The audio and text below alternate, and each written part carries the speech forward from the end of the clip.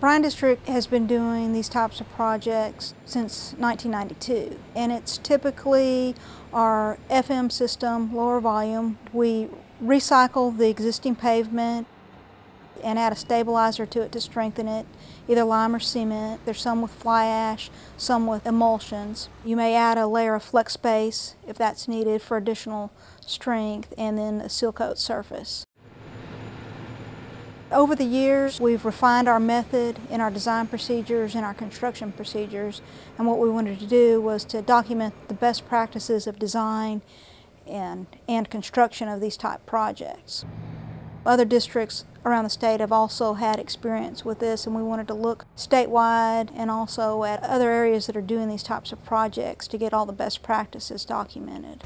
There's concern when you use a stabilizer that you're going to get severe cracking, but we've over time been able to control cracking from the stabilizers by designing the proper quantity of stabilizer. And we do that by looking at two things. One is a minimum strength and the other is a retained strength to make sure we don't get damage from moisture because moisture getting into the base and weakening it is the biggest problem. Some of the issues with it are traffic control because we're constructing ours under traffic so there's going to be a while the traffic's driving on an unfinished surface. But we usually limit the amount of unsurfaced road we have and so so some of the larger districts have concerns with that, but we typically limit it where we construct within traffic to lower volumes, say, say 2,000 ADT or less. It's a little bit slower than doing an overlay. However, when you do this type of work, you get a full depth structure repair.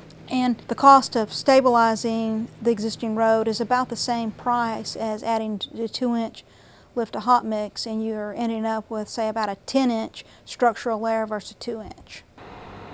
One of the limiting factors is how much hot mix you have on the road. We typically like to only blend 50% old hot mix into the base. On 290, we actually did some milling first. We didn't have to mill all the hot mix out, but we milled out enough so that we had a 50-50 blend left.